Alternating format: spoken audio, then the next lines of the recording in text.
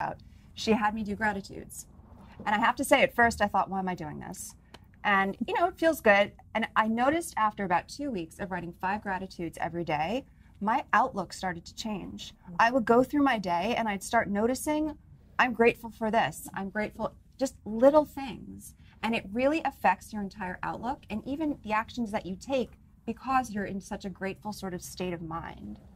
So. Love that. Um, Barbara Fredrickson, who is a um, is a researcher, she talks a lot about broaden and build hypothesis, which is that the more you focus on positivity and gratitude, the broader your perspective becomes, and you become a lot more efficient, effective, and creative thinker. Exactly. Right. So I just love that. It's fantastic. Yeah. Do you ever find yourself challenged to continue focusing on gratitude and positivity, or does the exercise always kind of keep you on task?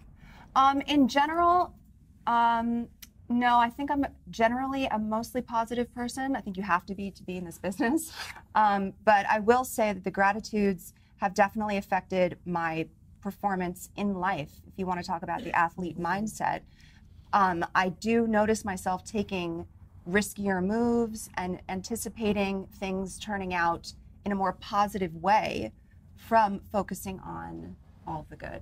Mm. It's like you're attracting more good and you expect more good to come to you. When it rains, it pours, right? yeah, exactly. it's pouring more positivity. Why is that? Let's actually focus on the positivity. Go figure. Congratulations.